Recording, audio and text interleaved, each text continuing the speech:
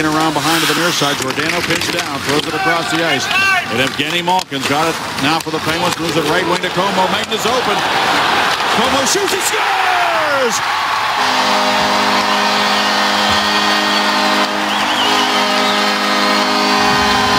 The former Flame haunts his old team.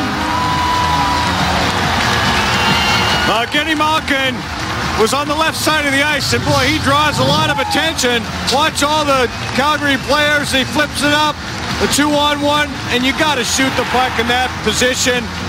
Comeau, he cradles it a couple of times. Defenseman goes down, and for the first time this year, the Penguins see a goalie with the glove hand on his right hand. Comeau goes to the blocker side as Hiller goes down. What a start for Pittsburgh in the first minute.